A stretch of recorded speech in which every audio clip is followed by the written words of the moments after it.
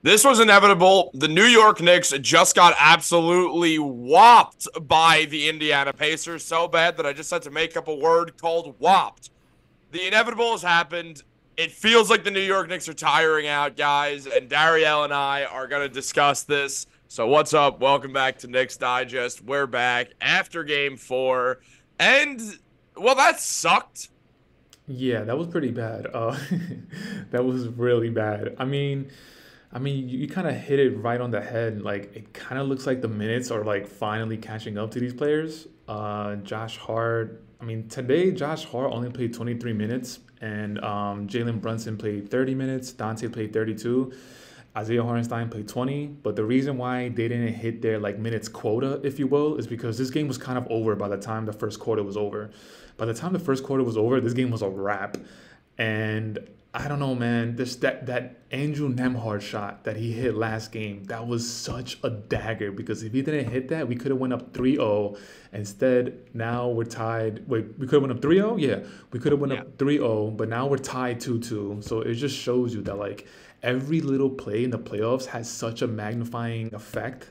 And yeah, man, they just didn't have it today. You're right, because let's say this happens after Nembhard missed that shot and if the Knicks hit their free throws in game three and they won that game, we'd be in this like, all right, well, that kind of sucks that the Knicks are going to have to play an extra game before they go on to face the Celtics in the Eastern Conference Finals because just rest is so important. And now we have to watch them play one more and kind of sweat things out a little bit. Instead, now we're looking at it where this the series is evened up. The odds are minus 110 each for who's going to win. So it's a complete pickup now. Clearly, Jalen Brunson's injured. Isaiah Hartenstein got hurt. OG's out, and he's probably not playing game five. I think he's out for the series. Yeah, I agree. Yeah. I think the only way is if it goes to seven, and he, he'll be like questionable because like that hamstring thing. I mean, everyone just looked exhausted. There, there was no other way around it. The Knicks looked looked exhausted. The Pacers came out and punched to the Knicks right in the mouth. And I mean, we had four points with five minutes left in the first.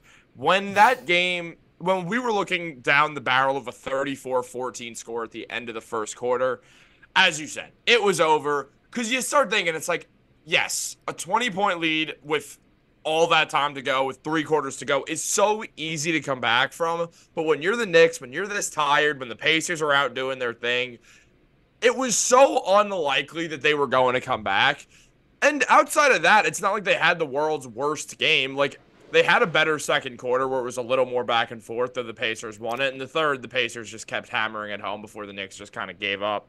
But shout out to Alec Burks for really coming in completely cold in game three. And these last two games, he has actually been a very solid role player for the team, which does give them some more help on the bench, which is nice. It gives them some more scoring. We saw any available body that the Knicks had, they played tonight. The only guys who did not play were the injuries. And yeah, no, it was literally just the injuries tonight. Yeah. So I don't know. They they emptied the bench. What's up? The only thing, so in the playoffs, we've seen this isn't the first time that a team just got completely blown the hell out. Like we've seen time and time again where teams that are trying to repeat, they actually get blown out. They lose by 30 points in the playoffs. The only thing that I'm a little worried about is because we got blown out by, I don't know, 30 points today. And every game in the playoffs is has its own life. So just because we, we got blown out by 30 points, that doesn't give them an extra playoff win. They just won one game. And on top of that, the Indiana Pacers, they did what they were supposed to do. They protected home court. But the reason why I'm a little worried is just that it just looks like this is going to have a lasting effect going into game um going into game 5 because of the fatigue factor, just how tired these players looked and the energy level being so low. I think that's I think that's gonna that's gonna spill over into game into game um five. The only thing that I think was going to help us out is the crowd. I think the crowd in game five is really going to be huge. Going back home to MSG, that crowd is going to be going bonkers. And Knicks fans, we're known as being one of the better fans in the NBA. So we know our basketball. We know what the players are going through with playoff minutes, physicality, the intensity, all that stuff. So MSG, if you if you guys are watching this and if you're going to game five, the crowd, is, I think, is going to be a really important factor. We need to give this team an energy boost because right now we're playing with like dead legs. Like you said, Brunson is looking like he's super just gimpy and he's just like hobbling around. Josh Hart looks exhausted. Isaiah Hartenstein kind of hurt himself today. Donte DiVincenzo had a really, just a really bad shooting day. Um, I also wanted to touch upon it's not really a big deal, but something I've been noticing with Brunson is like he's just not been hitting his free throws, bro. Like, and I'm not I'm not saying that Brunson needs to go 100%, like 10 for 10 from the line. Today he was 6 of 9 from the free throw line, 66.7%. It's not terrible, but me personally, I I'm holding Brunson up to like you're the best player on the on the team. I need you to go like 8 for 9. I need you to go hopefully 9 for 9. And three misses from the free throws is not the biggest deal, but when I see you missing free throws game in and game out, like this this game it didn't matter because even if he hit all his free throws, we were still gonna get blown out by like 28 points. So it didn't matter. But look at last game. He missed a few free throws, and then that Andrew Nembhard shot came to bite us in the ass. That's just something else I've been noticing. Game five gonna be on Tuesday or yeah, so game five is on Tuesday night in okay. New York. So we don't get the three day rest, which sucks. We haven't gotten one all series. Obviously, that benefits the Pacers. I'm bummed, obviously. I didn't know what to expect this game. I think it's hard to be a Knicks fan right now and go and expecting the team to play badly because they've just constantly been overachieving all season. Facts. You're also right. Yeah, they lost by what 32 points tonight. And they also lost yeah. one game in a playoff series. Like it's not like because they lost by a ton of points, they it counts as two losses or anything. The series is still tied up. You have home court advantage still. The Knicks still have an advantage. It's just now things have gotten a lot more real where it felt like two games into this series the Knicks were probably going to sweep them. Now obviously the playoff series has been thrown completely on its head. With where the Knicks are at right now, I just think it's time that they start Dariel Concha at power forward.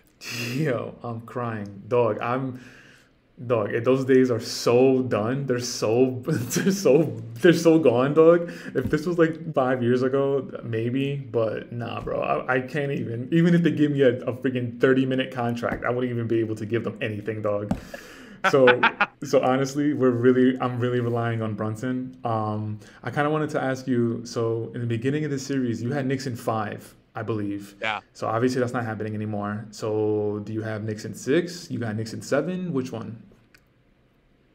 Really hope that it's Knicks in six, but I don't know. Like I genuinely after this game, and it's not just this game. I'm with it's you. It's the fact mm-hmm. that and given every team gets blown out at least once in the playoffs, as you said, like Look at that Warriors team when they were at their best in 2017 when they won 16 and 1 in the playoffs. They lost one game, and albeit it was to the Cavs, who were the second best team in the NBA by a wide margin in each way. But um, the Cavs blew them out that game. And it's like, oh, well, it's, you know, game four, and they're down 3 0 anyway, so we know who's going to win the final still. But it's like every team gets blown out, every team has a bad night. I think the Knicks are fatigued. I think that's part of it. It doesn't mean that everything is over and that all hope is lost. Shout out to Thibs for benching the guys early. I mean, out of all the starters, Josh Hart not playing the most minutes was awesome. like, it's just good to see. Like, did you see the way he was looking on the bench though? That's a little worrying. He like he looked like it, it, it, the look he had on the bench wasn't like, damn, we really just didn't come to play today. The look he had on the bench was like, damn, how are we going to move forward? And I didn't, I didn't, I didn't like that look on his face because it, it just seemed like it was a lot more than just this game. But maybe that might be too, that might be me reading too much into it. So I don't know. I um, I obviously was not on the game three post game, but uh, something I just don't like watching is Josh Hart guard Pascal Siakam. He just can't do it. Mm-hmm. He just can't. He's too small. Like he can't mm-hmm. guard him, and we're clearly missing OG. But it's also the fact that we're missing Randle and Mitch I hate Siakam's like, game, bro. I hate Siakam's game. It's so predictable. Two dribbles, spin off, and then just flail your arms, fall into the floor, try to get a call. Get up. Get up. I know what you mean. It's you're not wrong, and I mean OG put him in jail, but no, Siakam's doing his thing now that he's got six four Josh Hart on him. And Josh Hart usually can hold his own as a power forward. Don't get me wrong, because the way the NBA's moved, there's only a few true power forwards left in the NBA. You got Pascal, Zion, Julius Randle, and like Paolo Banchero. are all true power forwards, like true modern power forwards. Everyone else now, for the most part, is like a spot up or something. Like, mm. I mean, I guess I, he's not a power forward, but Jayson Tatum plays power forward for the Celtics. He's a superstar. It's a little different. He's not a superstar, but he's a star. So that's a little different. Wait, did but you? But when you look at it, go ahead, Pascal is just a bad matchup with OG being off the court for us, which sucks because it's like if we're gonna lose to a pacer, I'd just rather it be Tyrese because it's like we're looking at a guy who's worse than Julius Randle, but who plays very similarly to Julius while we don't have Julius. It's really infuriating to me. But uh at the end of the day, they have to just like this I think and I don't want to start talking like, oh, the Knicks are gonna lose this series because they could easily win it. I I'm standing by that the Knicks are gonna win because I'm a Knicks fan. I'm not I'm not giving up hope. But like regardless of what we're looking at, with all these injuries and the way the Knicks have held their own, what a season it's been. I hope it extends to another round, and I honestly still think it will. Like, look what it took for the Pacers to win Game Three. Wait, so you? I think you answered, but you got Knicks in six because you don't want it to go to seven. Yeah, I'm going Knicks in six. Okay, I'm going. Knicks, I believe I'm going Knicks in seven, but I like I, I like to call myself, and I, am gonna include you in this as well. We're both realists, and realist yeah. and realistically, the bodies are starting to wear down. So I'm trying to put this out there into the universe. I'm trying to get ahead of it. If we lose, I am I am getting ahead of it, and I'm telling everybody that's watching, we lost because our bodies are wearing down, and we just Brunson's not healthy, and we just don't have the capable bodies to move forward.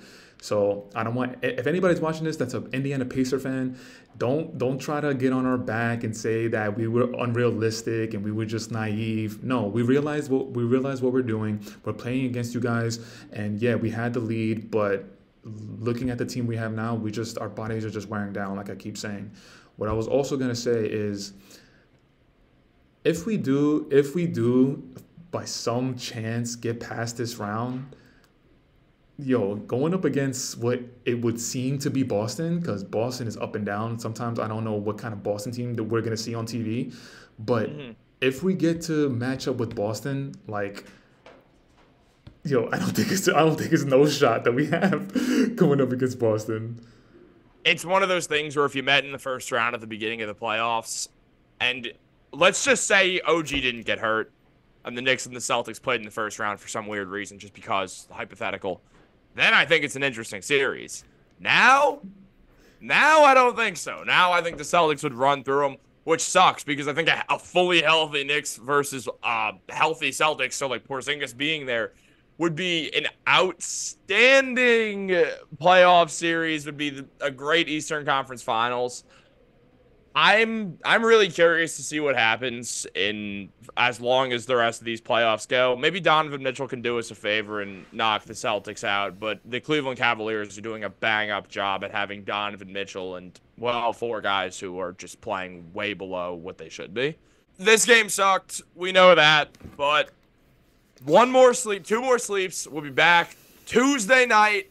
New York Knicks, Indiana Pacers, game 5 easily the biggest game of the series.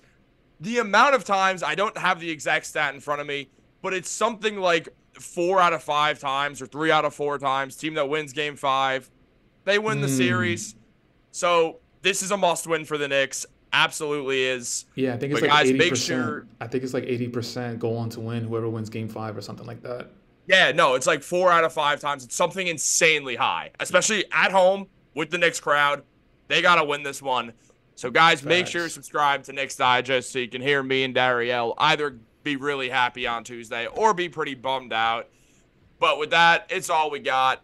Go Knicks. Y'all know what it is. Jalen Brunson for all the MVPs. Taj Gibson for president. I honestly, I'm going to add a new one.